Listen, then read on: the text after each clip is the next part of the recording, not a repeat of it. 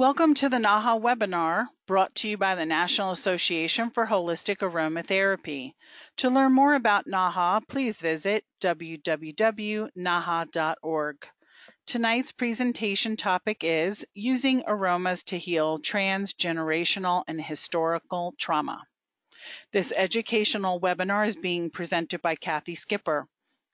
Cathy is a French trained herbalist, aromatherapist, and teacher. She lives in Taos, New Mexico, and she guides healers and therapists in ways to heal their own wounds and find their personal myth in order to help others. Cathy believes for men and women to embrace the divine feminine within, women need to lead the way. She trained at the Royal Central School of Speech and Drama, where she studied drama, applied theater, and education. She worked in schools and social settings using drama as the media for healing. Cathy moved to rural France in her mid 20s and learned to live in the nature, traveling with a horse and cart and living off the land. In 2003, she settled in southeast of France, farming blueberries, medicinal plants, and making organic wine. At the same time, she trained at École Lyonnaise, the largest herbal school in Europe. She went on to teach field botany, practical herbalism, gardening, and aromatherapy at the school as well as co-authoring the book Aromatic Medicine with the school's director, Patrice de Bonneval. In 2014, Cathy met her husband, Dr. Florian Birkmeyer, and since then they have founded their own school called Aromagnosis. Aromagnosis combines aromatherapy, psychology, plant consciousness, spirituality, and personal journeying for healing the whole person. Within the context of this work, Cathy has also written a workbook created and created an online class, The Alchemy of Menopause, in which she guides women through the alchemical stages of menopause as a shamanic and empowering transformative journey. To learn more about both Cathy Skipper and her husband Florian Birkmeyer, please visit their website at www.aromagnosis.com. And I'd like to just take a moment and welcome Cathy for being here this evening. We appreciate you spending time with us and talking about this really unique um, and interesting topic. So I'm excited for you to be here. Thank you. Thanks, Kelly. I'm really excited to be here too. Okay, so shall I begin? Yes, go for it, girl. Okay, so well, welcome everybody, and I'm really honored to be able to present this webinar tonight that's called Plants and Ancestors, Aromatic Shamanism for Ancestral Healing. So the reason why I really feel so honored to be able to share this work with you is because I believe not only that it's an important work and I'm passionate about it, but I actually believe that it saved my life. So we'll begin by just going through some of the points that I want to cover in this webinar. It's a very deep subject. It's a lifelong subject and there are many different aspects to it. So I've picked out some of the important ones so that I could try and give you uh, a good all-round idea about this amazing and powerful healing modality. So the points that I'm uh, aiming at talking about are uh, why I believe ancestral healing is an important part of all healing modalities. So we'll look at that in detail, um, but I think it's something that all practitioners practitioners need to be aware of and to have some sense of because it's part of what makes us whole. Secondly, I want to look at unresolved traumas that can be passed down through generations. So again, people working as practitioners and even on your own individual inner work, often we ignore the fact that trauma doesn't have to have happened in this lifetime. We can be epigenetically and in other ways, which I'll explain later, uh, channeling traumas that happened to one of our ancestors. Thirdly, the difference between intergenerational and historical trauma. These are words you'll hear and uh, being branded, branded about a lot now because this subject's getting very, um, it's becoming very important to a lot of people, but I wanted to really look at the difference between what is intergenerational trauma and what's historical trauma, even though the two do overlap. Um, obviously, we're going to be looking at the power that aroma has in this work because it's one of the main allies that I work I use for ancestral work. The ancestral healing work is also very multi-layered. It works we work through different layers and there are different parts of us that get affected by ancestral work and that need to work together these different parts of the psyche in order to um, do the ancestral healing work in an effective way. So I want to look at these different layers and see what they are. And also, very importantly, I want to look at the mother line and our ancestral clans, especially with uh, all this talk and energy about the feminine rising in the world at the moment. I think there's a big link with our ancestral mother lines. So I want to also uh, spend a bit of time looking at that. Okay, so I think everybody would agree at the moment uh, on the planet, there's a real need to stand up and move quickly. We can't hang around anymore. And what do I what do I mean by this, or how do we articulate this urgent need to do something uh, when we're working in the healing arts? So I put on this slide, we're all being called to stand up and stand in our truth, and that's really how I see it. Um, I trained as a clinical aromatherapist and herbalist in a school in France. And right from the beginning, I remember when I first started seeing clients, I was always incredibly drawn to what was happening underneath the symptoms? What were the underlying emotions? What was going on for that person? And for for for a while i tried to stick to what i'd been taught in the protocols and the symptom based stuff but i couldn't really pull myself away from where my my true um, vision and leaning went until in the end I started to allow myself more um, leeway and more uh, ground to to start to to look at the underlying reasons behind people's difficulties and this then as time went on this coincided with me uh, meeting Florian who and we both had a very similar way of looking at the world and looking at um, the ways people need to heal and I'm not saying that people who um, are practitioner, practitioners that are very good at the symptom-based stuff and the physical stuff. I think that's really important. What I'm saying is we need to stand in our own truth and do what's right for us and what we're good at. Actually, that's it, is what we're good at. So finally, I allowed myself to sort of develop um, this path. And as I said, I met my husband and we went on a, you know, our journeys in healing are very similar. So I allowed, I felt safe and allowed the, the passion that I had for ancestral medicine and emotional and uh, spiritual healing to come through in my work. And um, I've been integrating it into classes and cons consultations. And I, what I really have to say is now I'm ready to shout it from the rooftops. It's been, the ancestral work has been going on underneath for a long time. It's part of my own journey. And as I said at the beginning, I think it's one of the reasons that I'm still here. Um, and now I'm ready to really share it because I think it's it's got its place in the world and it's got a very important place um, as a healing modality today. And I would say I've become an expert in it, in it in a way on many different levels. And what I want to do is to teach individuals, not only for their own health, but practitioners as well, who want to use this work in their practices. So yay, I'm here and this is what I want to share with you. And I want to shout about it because it's important work. Okay, so um, this work is also a gift from my ancestors, and I feel it's really important that I honor them in this presentation. So here's my grandmother and my aunt who brought me up with my mum. And you can see a reflection of me in the picture, which I think is uh, important because the layers and the veils aren't as uh, defined as we sometimes think they are. And I'd also like to honor my ancestors by uh, telling you that I know that they've been supporting me and guiding me all my life. At first, I didn't realize it, but now where I'm, I am in the ancestral healing work, I see very much that they've always been there for me. And as a child, I sensed something without knowing it. And then as my healing intensified, I began to realize that I had to go deeply into the ancestral journey. And this really came to a head with a cancer diagnosis.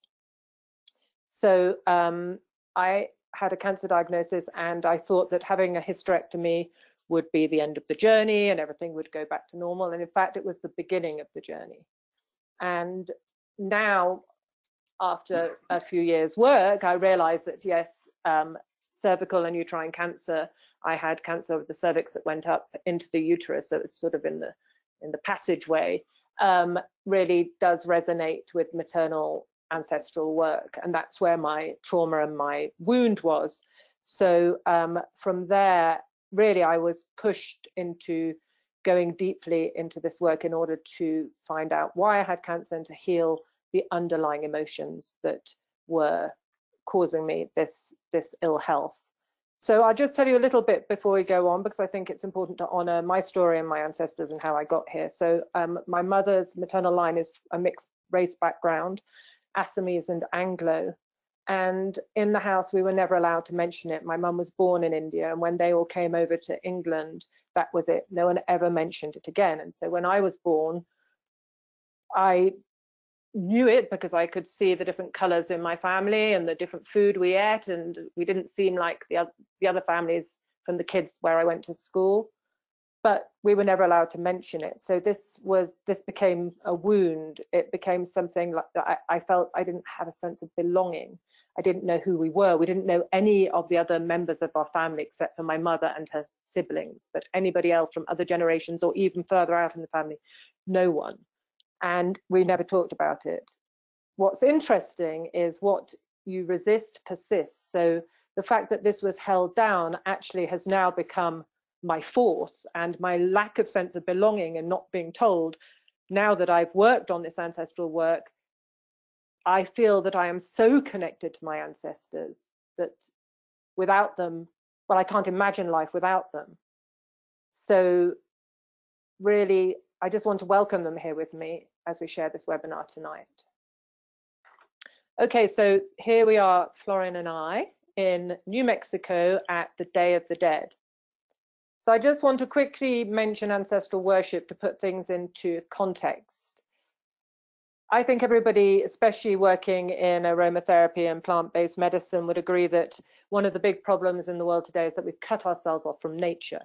And we're seeing that. I mean, everybody is aware of it now, and we're seeing it in the state of affairs of the ecology and the environment. But I'd like to add to that that we've also cut ourselves off from our ancestral worlds. And this also has huge implications, not just for individual health, but for the health and balance of family systems, communities, and global health. And did you know that ancestral worship was a part of every single culture in the world at some point in history. And not only was it a part of every single culture, culture of the world in some form, but it is the basis of all religion, of all ancient religions. So in much the same way as we suffer from our disconnection with the natural world, and we as a culture are now responsible for the degradation of the very thing that sustains us, our disconnection with the ancestral worlds has similar implications. And I think we're just beginning to realize, like we're just beginning to realize that we can't see ourselves as separate from nature, or else we're not going to uh, look after it, and that's obvious now. But we're also just beginning to realize that the ancestors and their support, their guidance, the energy that leads from the ancestor to, to us is what actually sustains us as well. And we are lost without it. So um, yes. Okay, I'm just going to take a breather and have a quick drink so I don't go too fast. I'm really happy that you're all there and um, it, this is a real honor. So this slide is about the plants used in ancestral worship and I wanted to look at these plants because there, you know, there are many plants all over the world, and obviously they change depending on the culture and the place because people use plants that grow where they are. But there are many plants all over the world that come up again and again in ancestral worship. And I wanted to mention them not just because they're used in ancestral worship in history, but also because these are the plants that also carry an ancestral energy because they've been used for so long um, in this type of ritualistic use of plants um, and in the world of ancestral healing. So um, yeah, and flowers promote emotional responses in humans. They change mood. they have they've, they've always been used in ancestral worship, in burials, um, in rituals. And evidence has shown that uh, in burials all over the all over the world, plants have been used since the time of the Neanderthals. So this is nothing new. And they could be described, as I said, as ritual plants. So they, they have a sacred or religious context. And what's really nice about these plants is uh, in as essential oils, they're really good for ancestral work today in a different way, not in terms of ancestral worship necessarily, but in, in a work of healing. So that's why I've um, highlighted some of them. So um, which plant should we look at first? Well, let's look at the um, Tulsi. So the Tulsi, which is the sacred basil, Ocimum tenuiflorum, has been used in India forever. I've got a really nice um, quote here that I'll share with you. According to Hindu religion, a dead body is placed before a tulsi plant, or the plant is carried with the corpse up to the cremation ground and planted at the funeral place in remembrance of bereaved person. The plant is never burnt by any of the Hindu tribes. So I actually started using Tulsi because uh, an Indian friend of mine um, who is an aromatherapist um, told me about how on ancestral sh shrines in India, they um, put four Tulsi incense as um, one for each lineage. And so that's how I first started using it. Now I use it as an essential, and later on in the slides, we'll see how. Um, the marigold or Tagetes erecta is um, a brilliant plant for ancestral work and I'm really excited because I've just been able to source an essential oil which I'm waiting for it to arrive from India. Um, it's a beautiful plant because it's like um, a, a, guide. So it was used a lot in Mexico, obviously, for the Day of the Dead. And it was used as a guide for the ancestors to follow the light of the plant so that they would arrive at the Day of the Dead um, easily. So it's light and it's and its its strength and beauty would lead the ancestors to uh, the party, to the festivities. And then lastly, rosemary. And rosemary is used, uh, it's like a little tree. So the evergreen trees and the this type of um, spiny plant um, is often used because it represents immortality. But for me, rosemary, I use a lot in journeys for ancestral uh, journeying because it has a lot of protective powers, but also the idea of remembrance. So I'll often pair it with another plant, but we'll look at that in a little bit. Um, I think I'm going a little bit fast and I'm getting a bit, um, Florian says I'm not going so too fast, so well. So um, the, also don't forget that these plants in ancestral worship and at burial times would have been used because they had antibacterial properties and so the plants would also um, help with any um, scent from the corpse and to keep the funeral space um, fresh with the aromatics, the resinous plants as well. So, um, and don't forget Shakespeare's uh, Hamlet, there's rosemary, and that's for remembrance. So the these long-standing um, how do you say it, these long-standing uses ritualistically of the plants actually empower the plants and give the plants this energy as much as the plants are also carrying it. It's a relationship between us and them that's gone on for many, many years. So um, that's why I choose often these plants in terms of the oils that I use because they've been used for so many thousands of years by so many people that we can take that uh, energy and work with it today in healing the ancestor in the ancestral healing work. Okay, so um, just seeing if there's anything else that I need to say about that before we go on to the next slide. Um, yeah, I just want to finish on the um, marigold. So really, as I said, I'm very excited to work with it. I had a sample of the essential oil and it's the essential oil that I'm waiting for that's going to arrive. But I feel that this flower is interesting to use for making the connection between the visible and the non-visible the living and the ancestors. And really that's what this work is about.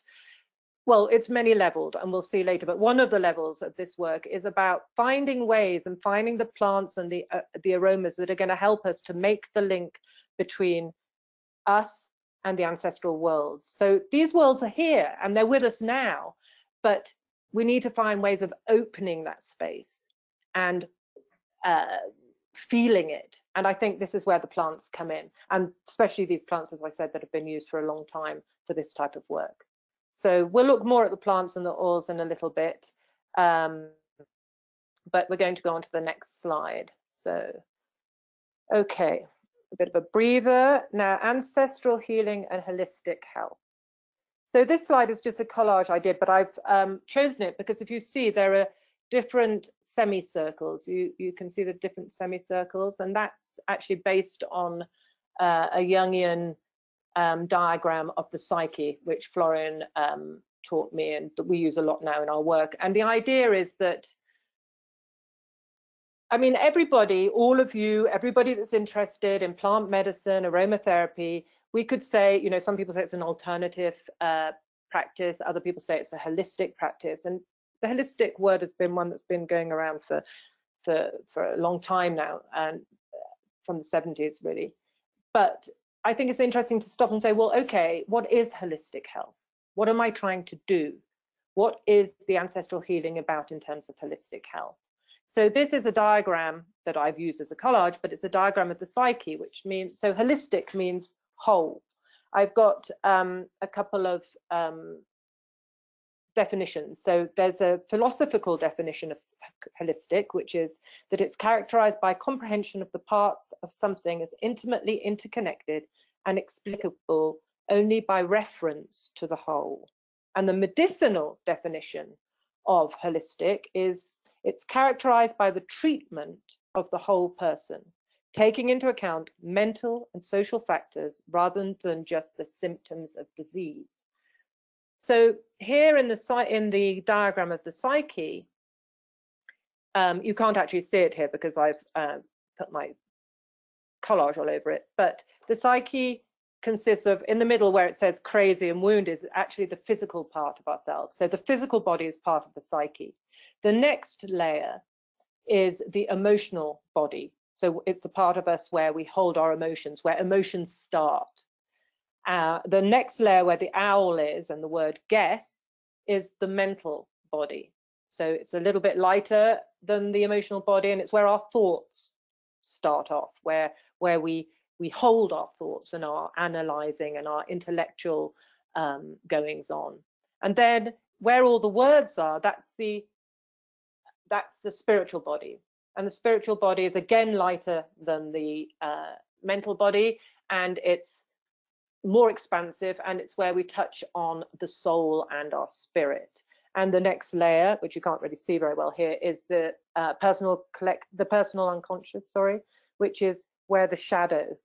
It's not just the shadow; it's everything that we don't really need to know about ourselves. For example, what we had for dinner yesterday. But the, one of the main aspects of the personal unconscious is the shadow, and that's an important part of this work in ancestral healing as well. And finally, you have the collective unconscious, which is where we're really connected to everything that ever exists and will ever exist in the world. So, I mean, that's a huge uh, thing to take in in two minutes. But what I really want to say by that is that we're looking at the whole person. So ancestral healing touches all of us. It's not just a spiritual um, journey. It's not just an emotional trauma, healing trauma. It's not just um, releasing cell cellular memory. It's not just doing work, uh, ancestral worship. It's also intellectual. It's all those parts of ourselves.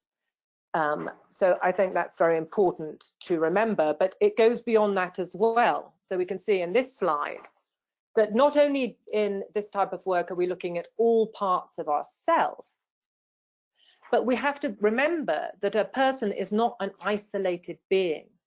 We belong in a family system. So we are physical, mental, emotional, spiritual. We have a shadow, so we're all those things, but we're also within a system. So we belong in a family system. And then we also, within that family system, we belong in a community and we belong in a global community. But beyond that, we also belong to an ancestral system, which is part of our family system. Our family system isn't just us and the people that are alive today, it's everybody that came before us. And I think this diagram is really beautiful. It took me quite a long time to actually get a hang on it because um, I have some spatial difficulties sometimes. But if you see the number one, that represents the person whose tree it is. This is a family tree. And then if you look to the left, the red dots that go from the number two up in a line like the first part of the bird's wing, that is the mother line. So your mother, your mother's mother, mother's mother's mother, and the same on the other side is the father line. And then from there, if you go from the first red dot next to the number two and go down, that's your mother's um, father. And um, yes, that's right, that's mother's father. And then, so every time there's a gray line, there's a blood link. But also there are links between the second dot on the first line of red dots, diagonally goes down to the blue where the number four is, and they are married. So my, I mean, I can't explain it all here, but you're going to get the PDF. But this is a beautiful way of looking at the family tree, and look what it gives, this amazing diagram of a bird and everybody's linked and all as each line you see there are two people on the first line and then the next generation there are four next generation eight then 16 then 32 and very very quickly um, goes into a lot of people. So there are a lot of ancestors behind us. And i think you know as much as we're going to talk about holistic healing we need to really know and think about well am i working holistically? And for me we cannot usurp the ancestors if we want to work holistically. And this diagram really shows why. Okay, so, so next one. No man can outwit the ancestors, African proverb. And I think the way I interpret this um, proverb is that the ancestors have a, a, a certain privileged vantage point and their function is to bring back and help us heal and balance the line, the line or the bloodline or the lineage. And our healthy ancestors, we'll look at what they are later, but they are wise and loving, and they are in a way a link between the divine realms and the human realms. They've been human, but they aren't in a human body anymore. And that gives them a certain knowledge and wisdom and vantage point that we can't pretend they don't exist. And if we do, we can't outwit them. And the second uh, proverb is to forget one's ancestors is to be a brook without a source, a tree without a root. And this is really, really important. For me, this is what I feel. And this is what I want to help other people with in the world. And um, so the energy of the ancestors is what actually supports and guides us. And once we connect to our healthy ancestral clans, we know who we are and we know where we've come from, and we regularly look after those relationships, you will feel a beautiful, loving, strong, guiding energy. It's actually palpable that is behind you in life. And that's that's the um, the spring that feeds the stream or the, the roots that hold up the tree. And that's what I really want to help people with. In my own journey, um, that's what saved my life. That's what feeds me, nurtures me, guides me, and truly parents me. Okay, so moving on. How and why I began this work? Well, I'm going to go quickly because Florian's making signs that I'm taking too long and we've got lots to get through. So how and why I began this work? Well, first, as I said, um, it, my own story. So my own story really led me to doing this work, but it, I knew before I knew what my story was that this was important for me. It's my natural disposition, like I said before as well. I look at things from, I look at the invisible. What is the invisible stuff that's happening that's making this person ill or imbalanced? It was also my diagnosis of cancer and it presented me with the need to heal. I am the wounded healer, or I am a wounded healer, and I think the journey of the wounded healer is to share our healing and to carry on healing ourselves in order to be there uh, and hold space for others. The ancestors are calling me, there's no doubt about it. My ancestors were, were I was cut off from them, um, and it made the relationship and the connection even stronger. And they've been calling me, and I'm doing the work that they need us to do. Um, we need to heal the past in order to move forward. We're in a really big uh, I want to say a shit place. Uh, I, I, can't find the word, but you know, everybody knows what I'm talking about. The world is in a disastrous place at the moment, but we can't move forward. We can't make things better. We can't change things. And if we're carrying behind us unhealed, unaligned, unhealthy pasts. So we need to work with the ancestors in order to heal the past so that we can move forward. Okay, so off we go. The work is multi-layered. So this is just um, one of the uh, one of the um, things that I've got in my own research of, and it's burials in India actually. Um, so on one level, this work demands our mental bodies. We need to analyze, we need to research, we need to um, be organized and get information and then decide if that information is relevant or not and to move forward in order to actually look at our lineages in terms of what happened, who are my people, what was the story, and weaving these stories together. And even when we're weaving these stories together on that level, we're looking for different signs. So actually one of the signs is when there's a big gap or a space in a family tree, then you can be sure something's going on and you have to go into that space. But what I'm trying to say, on one level, we have to work intellectually with our mental bodies. On another level, at the same time, we'll be triggered as you're laying out family trees, as you're working on your ancestral lineages, you'll find that it's triggering stuff within you. It might be triggering emotions, it could be trigger triggering traumas that you've been holding, it could be triggering old cellular memories that are ready to come out because you're doing the intellectual work. So the work is multi-layered and we need, we can't just work on one layer. It's spiritual as well because you'll you'll see that in this work we work with altars and um, having a space where we can really connect on a spiritual level to the ancestors. And all these layers are important. They need to work together and we can't have one without the other. We need them all. Okay. So a big part of the work, we'll look a little bit more, I think I've got a slide about the oils we use, but um, is what we call shamanic journeying. So the shamanic journeying is the part of the work that we use for connecting with the ancestors um, really powerfully. And um, going it's another way of getting into that space that exists but in our day-to-day lives we often forget or we find it difficult to get into. So some people when they meditate daily can get into a different space. We use drumming we use the oils um, when people come on our teacher training, we use nature, we use diff, we collage often I use as well, and then we can go into the collage in a, in a shamanic journey. But the aim is always um, to find ways in to connect to our ancestors and to work through and with the memories that are coming up from ourselves that have been hidden, um, the trauma that is involved that has come through the ancestral lines. All these things can be helped, worked through with the guides and the shamanic journeying. So this is a big part of our work. It's very hard to actually explain what we do in a slide because you have to experience it, but it's a central part of our work. Okay, trauma work. Okay, so I'm just going to have a breather again and a little drink.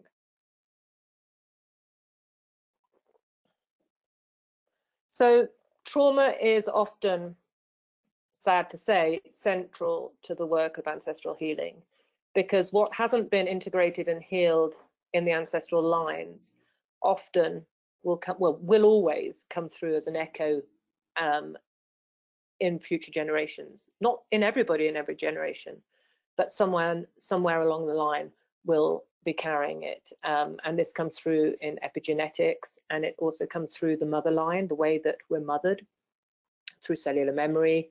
Um, and trauma is often a guide.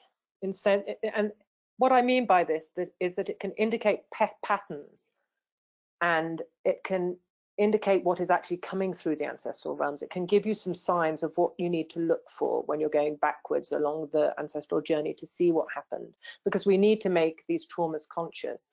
In my own journey, for many years, I couldn't understand why I seemed to be living somebody else's life over and over again.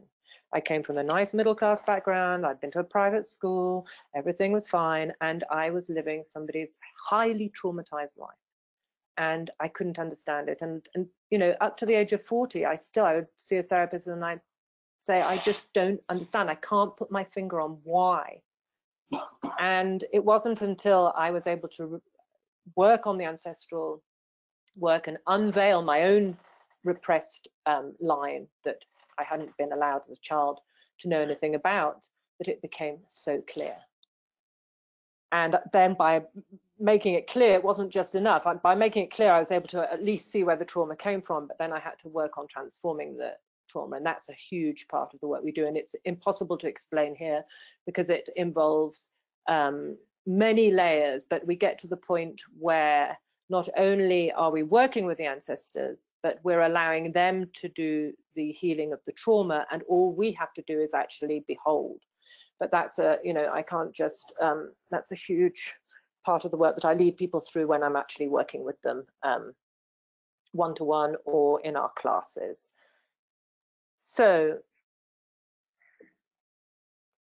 I'm just checking that I've said everything about that yeah, I think the epigenetics. So we work a lot of this on this um, in the online class. There's a whole module about epigenetics, and you know, it's been seen that the impact of traumatic experiences may be epigenetically inherited by molecular memory that's passed down through generations. So I'm not a scientist. Florian in our classes explains this a lot better. I felt it, I knew it, but how it happens is through this methylation process. So um, unlike most inherited conditions, this is not caused by mutation, so the genetic code doesn't change. It's the process of epigenetics where the readability or the expression of genes is modified, but it doesn't change the DNA code itself. It's like tiny chemical tags are added to or removed from our DNA in response to changes in the environment in which we're living.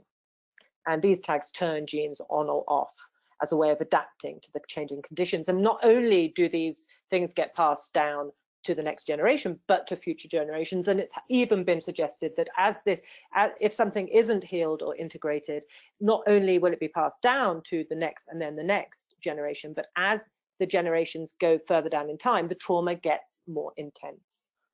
I think I definitely experienced that. So that's a trauma work in all aspects. Again, it touches all aspects. So um, it's a major part of the work, and you can see this. Well, you can't now. Well, there in the in the slide, this is one of the collages that I did on my own journey, and um, it shows a lot of trauma, but it shows a lot of healing as well. And we come back to this. You can see if you the work you do when you do collage work and you come back to it, you can see uh, always more and more. It's very layered and it's a work that will go on for a lifetime. Okay, so next, ancestral work ripples outwards. Ancestral healing can help us. Okay, so ancestral healing, um, what I noticed when I was seeing clients and now um, Florian and I are, are doing consultations together is that ancestral healing has so much more effect than you can really ever imagine, not on chronic physical symptoms, you know, where people have for years been trying to find the reasons behind and the solutions for certain chronic symptoms. They've been to every doctor, any, every practitioner, and they just can't find um, the reasons. Well, often it's because they're not looking in the right place. And um, working on the ancestral lines might very well um, help someone come to the the, the the core of what's happening to them in physical symptoms. For example, one of the things that we see a lot, and we've seen a lot uh, doing the consultations recently together, is women who can't get pregnant, but there's no there's no um, physical reason why. And often, if you work through the ancestral lines and you look what's happened in generations past, something will have happened with a child or with women in childbirth, something along those lines that's caused a trauma that hasn't been dealt with um, changing negative life patterns. Well,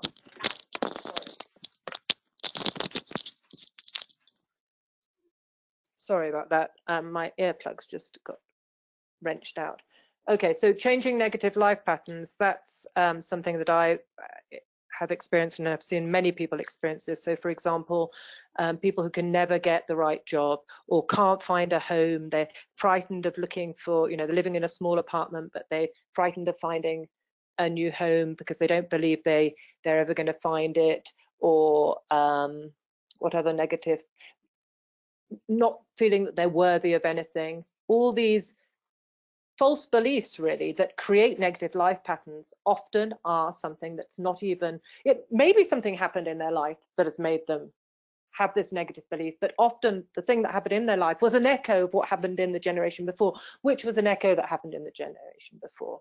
So it's important to really uh, not stop at our lives or at the life before but look at where the trauma started in the ancestral lines. Um, same with emotional patterns. My emotional pattern was very much one of isolation and not being able to be intimate and not trusting people. And when I unearthed my my uh, maternal bloodline, it was very obvious why. So that was one of the steps in it, being able to heal that. But I must say that healing is lifelong, and I'm still working on it. But um, I'm able to transform it because the ancestors are working with me too. Um, okay, so let's go on because we've talked about trauma symptoms. Can, can everybody hear me? Because I hope these earplugs, okay. Yes, we can hear so, you. Okay, thanks. The use of aromatics in ancestral work. Well, actually, I don't think I could have done this work if it hadn't have been for the oils. And that's, I think, one of the reasons why, you know, along with the sustainability issues, but the power of the oils to work with these unconscious forces, to work with the ancestral worlds, to work with our traumas and emotions have been so outstanding that I don't feel I need to use them in any other way. And we only ever smell them. And we give people um, oils on a scent stick. And so, um, really, blending this ancestral work with the oils is, for me, the key to effective ancestral work. So, and again, we looked at the way that this work this work works on different levels, and we see this again with the use of oils. So we need oils that are going to help and sustain us do the analytical detective work the research the going through family papers and going through the ancestry websites and trying to piece things together and looking at old old letters, etc., etc. We need oils that are going to help us do that work. We need oils that are going to help us on the emotional level to work through the trauma, to work through the the emotions that have been stagnant and are now ready to come up. We need oils that are going to help us work with the shadow, because in the shadow is where the cellular memories that haven't been ready or ha it hasn't been safe enough for them to come up are going to come up. The cellular memories that have been held there for generations. So we need work oils that are going to help us with that. We need work, oils that are going to help us with the shamanic journeys, with the visualizations that are going to guide us, that are going to lead us, that are going to be allies to help us connect with the ancestors. And I can tell you that the oils are there for us. And you have to choose the right ones. And um, that's part of the work we do as well with Cathy, Cathy's Attars, but um, they are so powerful. So um, we're going to go through a few slides, I think, um, that talk about the work we do with the oil. So for the detective work, which is really keeping the mind going, keep keeping the uh, motivation going, because sometimes you think, I'm never going to find out. I mean, in my own story, if you had said to me today that I would know what had happened with my maternal bloodline in India, um, I would never have believed you, even five years ago. Five years ago, I knew that my great great grandmother was Indian, but that was it. I thought I would never find out because researching in papers in India, uh, stuff that I nobody wanted me to know, but I did, and I did with the help of the oils and with the need to find out. So there's this galbanum is great because it doesn't let you give up. It pushes you on. It gets you out of bed in the morning, kind of thing, and really helps you to to direct a path through what you're doing. And even when you do feel you need a rest, then when you take galbanum again, it'll it'll give you that kickstart because you know this research work is sometimes laborious and you come to dead ends. And so that's very helpful. Rosemary, Rosmarinus officinalis, well, again, we've seen it for the ancestral worship. We'll see it everywhere because it's an amazing oil. Um, and here I use it for, for mental stimulation, for the mem memory, um, and for helping me um, feel like I'm connecting to the ancestors on a intellectual way, looking at the dates, looking at who was linked to who. Sage um, is the same, really. Peppermint, it keeps me alert. Cedar is great for intellectual abilities mixed with intuition because you're working with the intuition at the same time. Cedar's really amazing for that. Um, so let's move on. Okay, so oils for the heart, for the emotions and the trauma work. So here's where we really get into the nitty gritty with the oils. And you need to know your oils intimately. You'd be better off using, I mean, probably we use five, we could use five oils and know them really, really well and have a really good um, toolbox for this type of work. And it's better to know five oils intimately than have um, hundreds of oils that you don't really know what you're doing with them. So we really work deeply and intimately ourselves with the oils on our own healing journeys. That's the wounded healer again, before we bring them out and work with other people. So we need to have journeyed with them, built a relationship with them, worked with them, seen how they help with our own emotional um, difficulties, and uh, then we feel that we we've got a relationship with them and we can work with others. And this this demands intuitive wisdom. This you can't get out of a book. You have to work with them. It demands time. It demands relationship. It demands respect for them as living beings.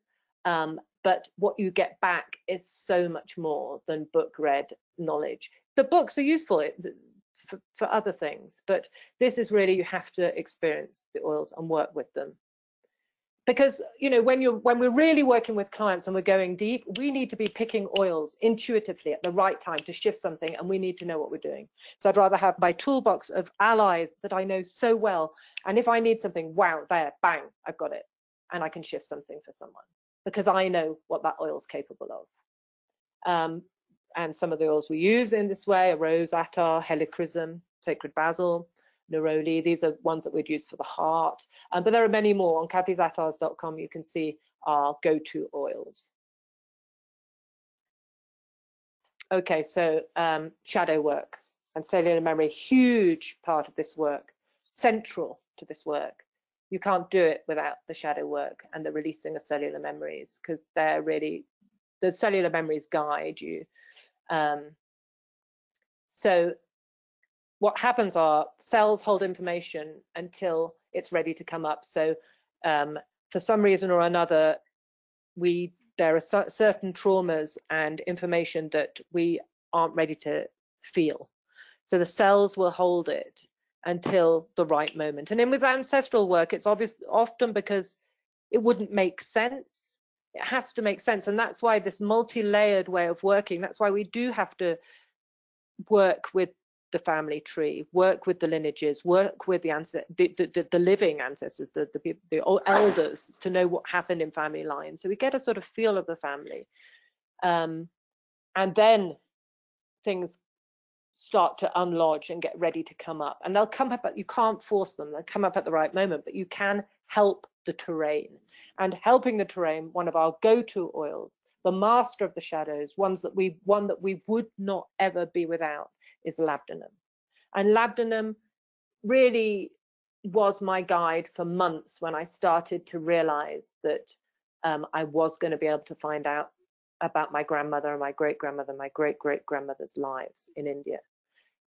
And it worked with me inside myself. In a way, sometimes I knew something inside with the help of labdanum that was digging up the cellular memories. And then I'd go onto internet and suddenly something I'd been looking for for years, for months would come up and there I'd have the information.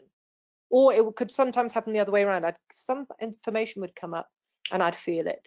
And then I'd work with both my shadow and that and I'd realize yes that's it. That's right. I can go on from there. And it was labdanum that uh, enabled me to do this because labdanum doesn't give up. It digs and digs until those those deep memories are released. Like little bottles uh, sorry little bubbles of champagne I tell the students. Little bottles of champagne that the, the, the cells open and these tiny little bottles of information rise up into our conscious realm and we have to just grab them we don't, we can't do anything. We can't force it, but we have to be ready to grab that information when it comes up. Um, galbanum again. We saw galbanum, it helps with the intellectual work, with the research, but it also helps with the shadow. It helps us face our original strength and ancestral strength, that it pushes us to manifest. So somehow galbanum helps us to realize that we do know that we have this, this ancestral indigenous people in our line, that we come from somewhere, and there is a strength and gifts in that. And it helps us to bring that forward. Okay, so then, yeah, aromas for shamanic journeying and connecting with ancestors. So we saw the marigold or the tagetes. Don't mix up marigold calendula. I think a lot of people in Europe use the calendula. Um, here we're talking about the tagetes, which is uh, sometimes called African marigold. And as I said, we're waiting for the essential oil to arrive, but it's really marigold helps with that connection when you want to connect and feel, because you can feel, you can actually work with, communicate, make relationship with your with your healthy ancestors. And this is what the shamanic journeying does to help us. And marigold is one of the, sorry, it's my dog, I'm just gonna let him out. Marigold is one of the oils that really helps make that connection. Other oils that are really helpful with connecting with the ancestral realms are obviously the root medicines, the root oils. Angelica's beautiful. It's like Angelica's like a ladder, and I actually used it just the other night. I was in a deep, dark place where some very heavy ancestral stuff was coming up to do with my inner masculine. I felt shitty, more than shitty. I felt terrified in a way as it was coming up. And I was in bed and I smelt Angelica and I asked the ancestors to um, to help. And it's like a ladder. I could feel them there and I had the most beautiful dream. And they were there. And um, when I woke up, I was able to deal and move on from the difficult point. So the roots valerian as well is great. Wild carrot is really good for ancestral journeying. We pair it sometimes with patchouli, really nice pair. Um, and obviously the plants and aromas of the places of your people. So I use a lot of Indian oils because I'm working with my maternal bloodline, which were from India. And so it really, you know, resonates. But what were the plants, and the aromas of the place that your people came from? And find those plants and aromas and that'll help. You know, they say that the dead eat with their sense of smell. Well, the, the, the, the ancestors react um, very powerfully and very well to smell and to plants. So find those that's part of the journey. Okay.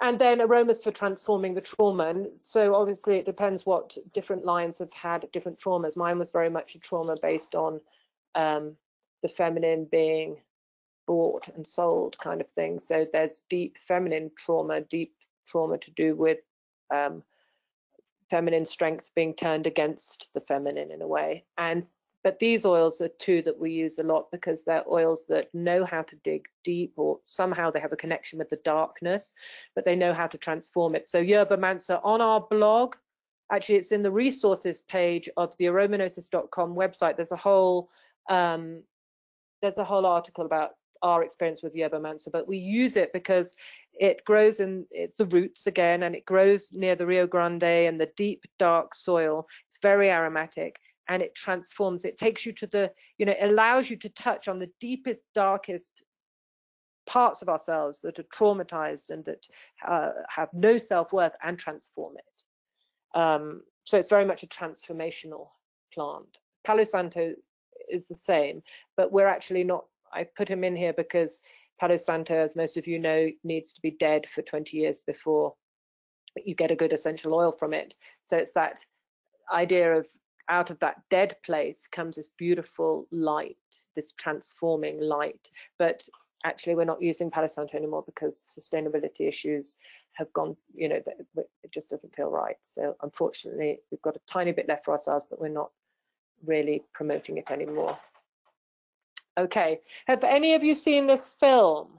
It's really good. It's called Coco, and I saw it not long ago um, with Florian, and it's just such a beautiful film, but more than beautiful, it really does highlight the different aspects of ancestral realms and ancestral trauma. So it looks at the living dead. So this is again a huge subject. I'm going to touch on it in a few seconds, but if you want to know more, um, you'd have to delve deep or do one of our classes. But the living dead are are, are the people that have died in our lines. We still know their names. They died recently or uh, uh, recently enough for us to know who they were. Um, and they're not necessarily ancestors yet. They haven't got to the ancestral realm yet because they're still working through uh, their wounds and traumas and life issues.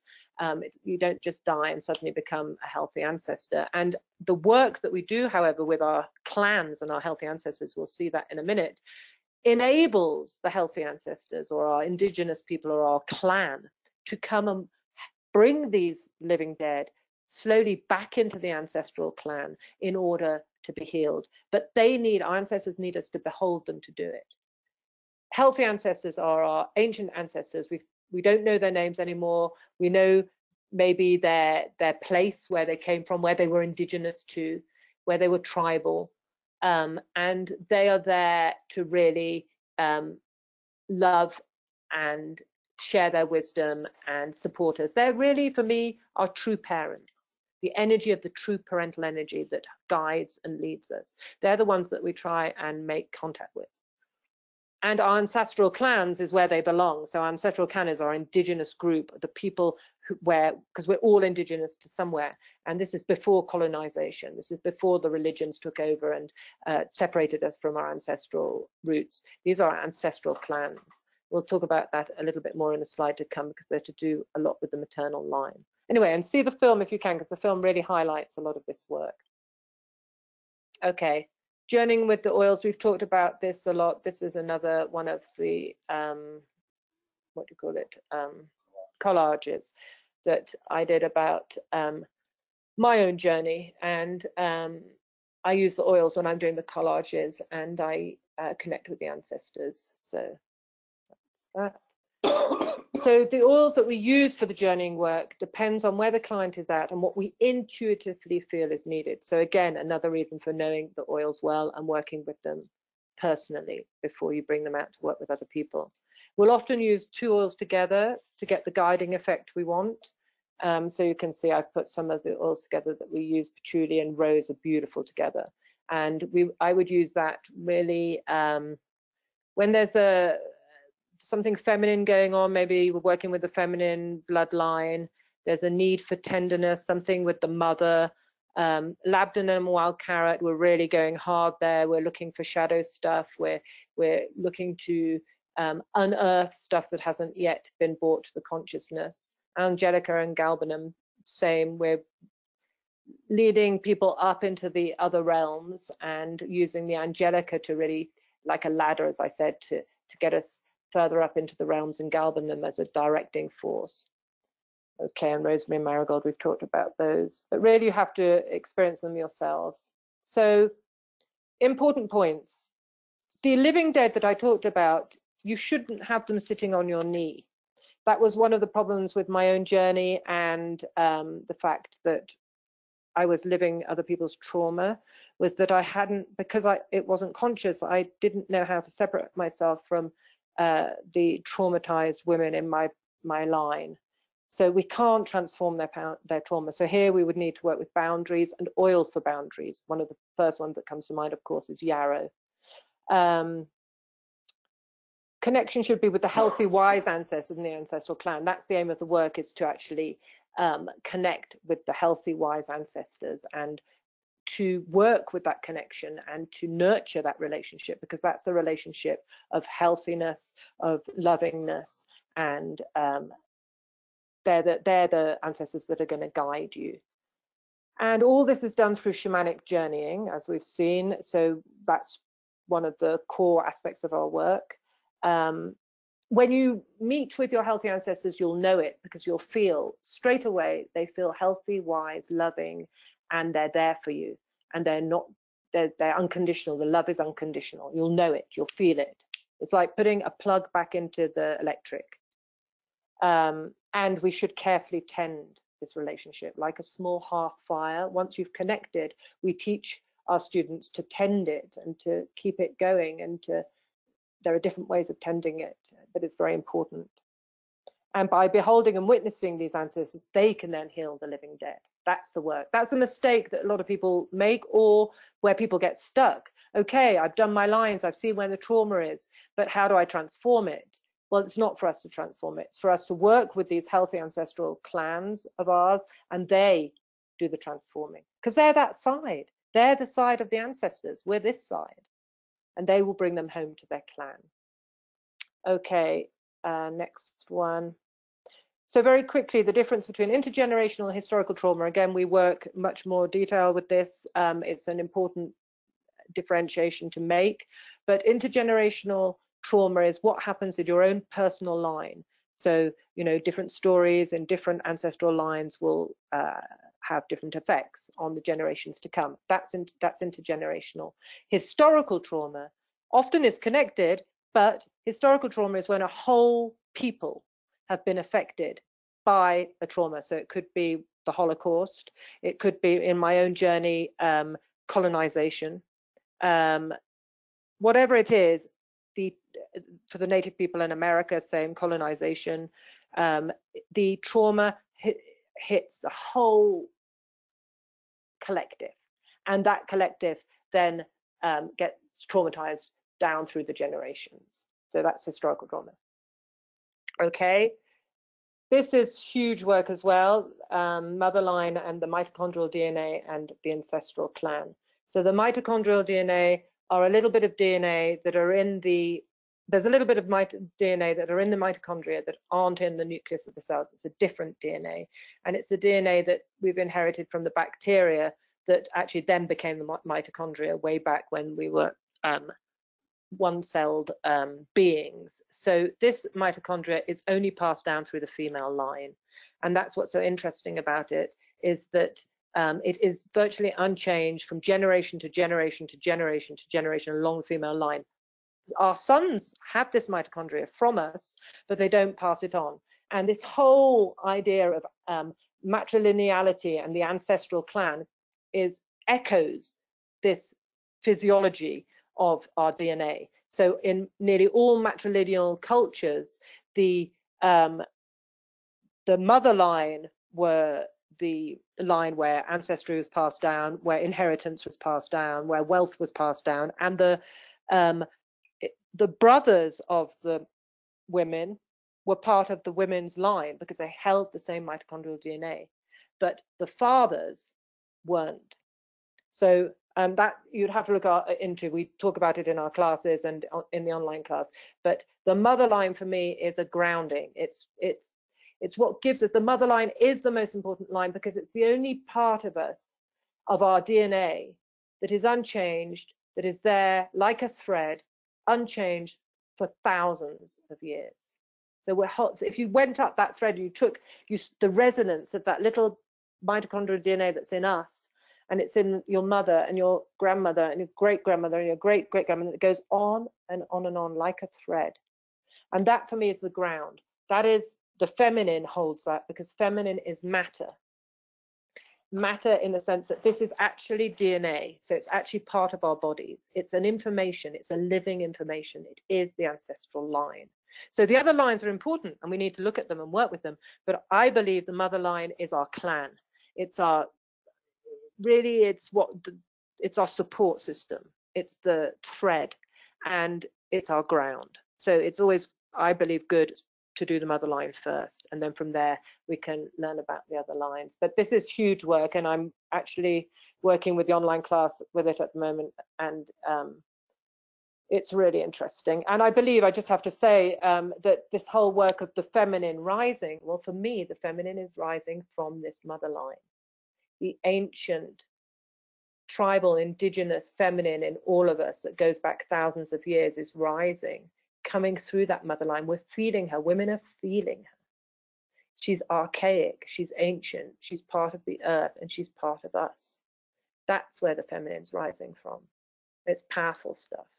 And part of the shamanic journey is connecting back with these strong indigenous women that we all have in our lines. And the oils really help with that as well. Okay, so um, let's see what's next. So there we go, our clan that's part of my clan decide with um, the taller people in it the three actually in the front that look like they've been superimposed uh, a part of my clan uh, it's my mum and her sister who brought me up anyway okay and there we go the feminine rising Kali.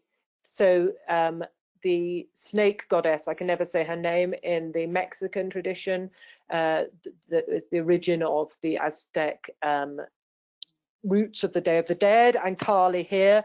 These are the goddesses that are that life they, they know about birth and life, but they're very, very familiar with death and they know how to work with death and relate to death and dance with death. And I believe that they're really coming through us through that mitochondrial line, that golden thread of our maternal bloodline. That's where they're rising from. Okay. So yerba mansa, I talked a little bit about uh, yerba mansa as a, a, powerful healing plant, and we've distilled some ourselves. You can use the tincture or just the plant. I know that again, sustainability issues may be concerned here because it's a root, um, but this is like Kali, She knows the darkness. She knows the pains that the the women went through in New Mexico for generations, but she also knows how to transform that pain. And so, you know, even with the aromas, you could smell the plants or take a little bit of root and make a little bit of of um, of like a smell perfume from from just putting it in alcohol or distilling a little bit in a small still, just so you've got some of the beautiful hydrosol. But yeah, these plants, Yerba is a, a very, very powerful ancestral healing plant. Okay, so I'm going to come to the end of my slides. Like this is I love. This is I've been reading a lot about the gypsies in England, and this is written by a gypsy called Patrick Jasper Lee, and he makes a lot of connections with our disconnection with nature and our disconnection from the ancestors. So um, I think this is very poignant for this work. He says, it used to be that the world was little and the ancestors were big. Now ancestors are little and the world is big. A message that is at the heart of sickness. For without ancestors, we are less efficient and less effective as a species and that's what I really believe. And I believe it because I've seen it with my own my own self. And as I said at the beginning, if it wasn't for the ancestral healing, I wouldn't be here. And the reason I'm here now is to speak with the voice of my ancestors. So thank you for listening. Okay, so if you want to connect with us, um, we have an online school called aromagnosis.com and uh, we have lots of different classes such as plants and ancestors, ancestral healing, the alchemy of menopause, which is about empowering women through menopause, a comprehensive guide to buying essentials that JAR um, has created, which is a very scientific and extremely necessary class. Um, we're doing live classes as well. In America, we're going to be in Bellingham, Washington, Santa Fe, New Mexico, Asheville in, in Northern California, North Carolina and Eureka in California. And we're just excited to be able to spend two whole days with people live working on this stuff and bringing the oils in. It's hard having a webinar without any oils to share and not being able to see everybody. Anyway, I hope I made some sense and um, thank you for listening to me. Oh, wow, Cathy, thank you so much. What an intense and enlightening and interesting webinar. I mean, I felt the ancestors come and join us, didn't you? I'm oh, sure they were there. I, I called mine yeah. in and said, come and sit with me with this webinar. Great. And, and I, I think it, I know for me, very intriguing, opening my eyes back up to touching more into the spirituality and connecting and like that. But I'd like to thank you personally because um, I had shared with with um, uh, Florian, uh, you know, that I had been going um, through something uh, recently, and when he gave his webinar, and I kind of felt a little bit alone. And so tonight, I was as I was listening to you, I thought, wait a minute, I'm not alone. I have my ancestors. So I Perfect. just sat here and I asked them to come and sit with me. So thank you for that. That's beautiful, Kelly yeah, this was really meant to be the synchronicity of your presentation for me personally. So I, I, I want to thank you for that. So thank you so much. Well, thanks for using that word because synchronicity is a huge part of ancestral work. That's one of my favorite words. yeah. So thank you so much. We really appreciate uh, you being here and spending time with us on this really interesting topic. So thank you so much. It's been a huge pleasure.